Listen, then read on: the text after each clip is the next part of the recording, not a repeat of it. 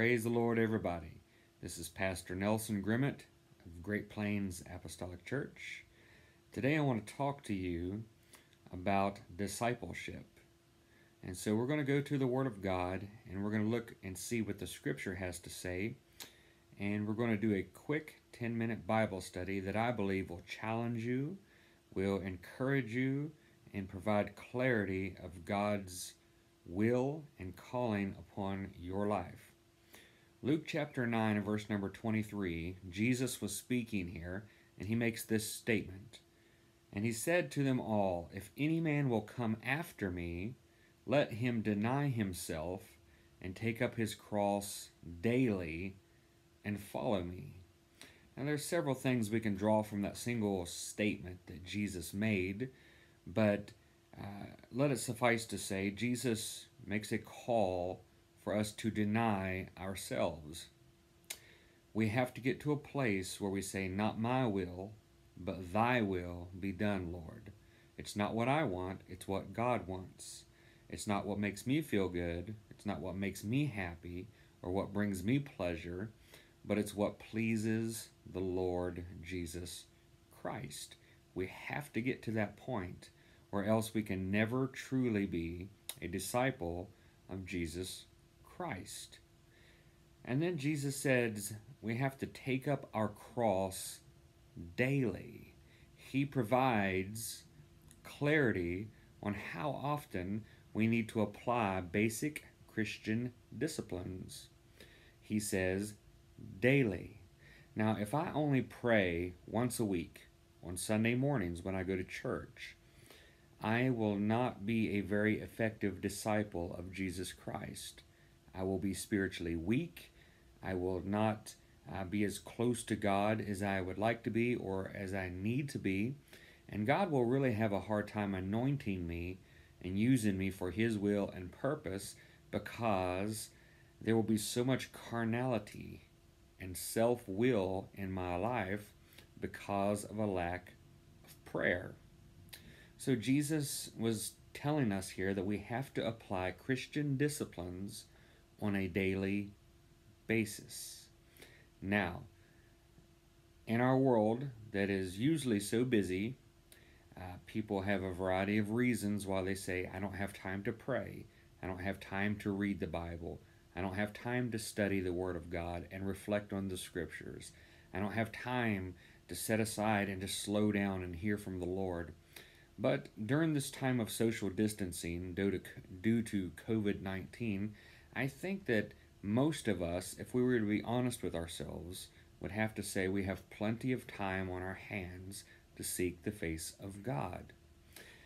So, if we are going to follow Jesus, if we are going to be a Christian disciple, we have to learn how to deny ourselves and how to apply Christian disciplines, biblical Christian disciplines, consistently, faithfully, on a daily basis. I want to share a short illustration for you that ties in with this scripture, and then we will finish off with another verse of scripture to wrap all of this up. There's a special plant called a Chinese bamboo tree. I recently learned of this plant and I had to do some research on it to see for myself if what I was hearing was true. I was amazed at what I learned, and I want to share some of that information with you right now. The Chinese bamboo holds the Guinness World Record as the fastest growing plant ever recorded.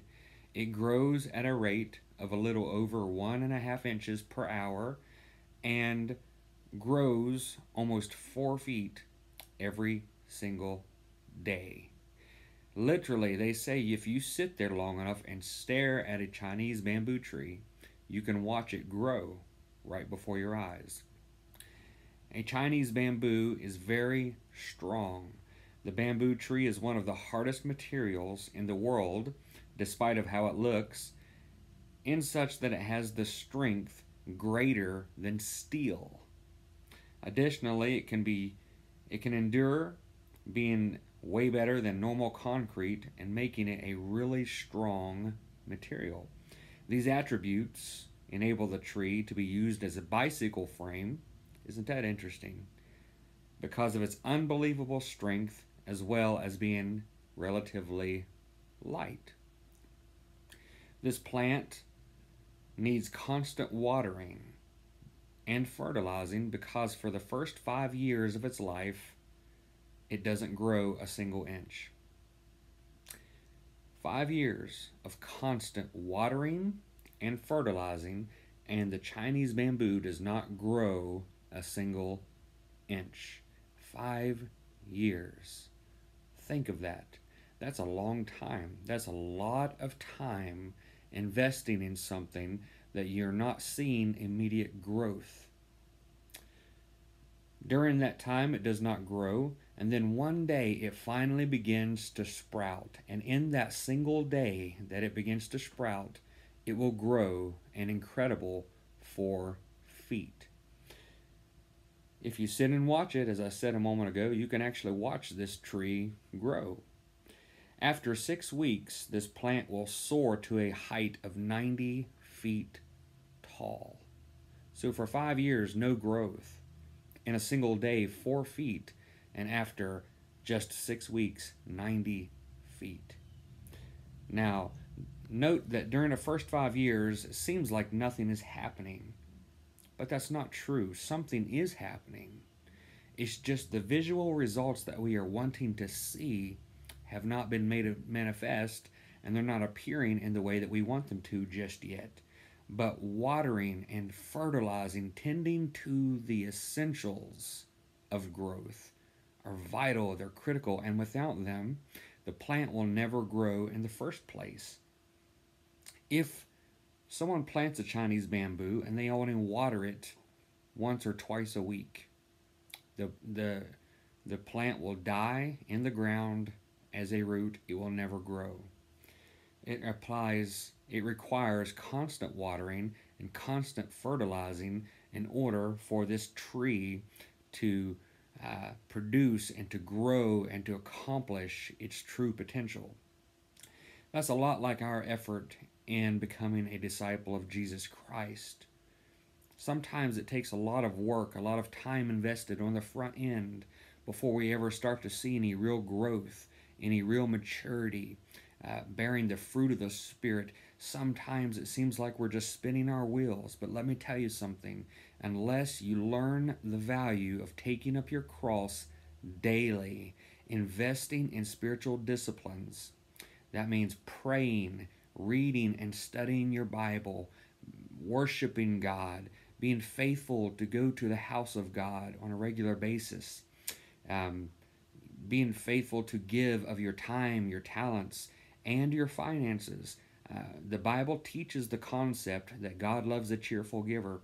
Giving in the offering to support your local church, paying your tithes, uh, those are all essential uh, to your spiritual well being and growth. Supporting your local church, supporting your pastor, supporting your local place of worship with your finances, your time, your talents is part of the process.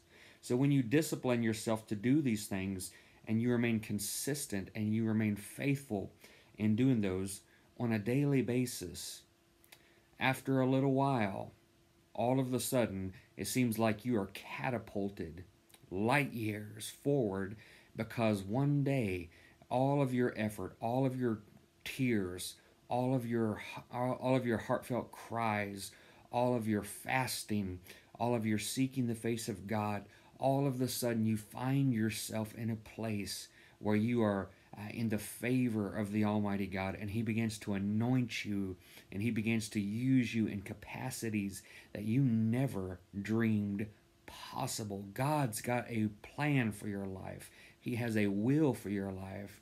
He has a purpose for your life, but you will never get there. You will never achieve the will of God in your life without spiritual discipline. God does not allow shortcuts when it comes to this. God is not just going to impute these things to us, meaning uh, give us the uh, the impact or the result of it without us putting forth any effort. God does not do that.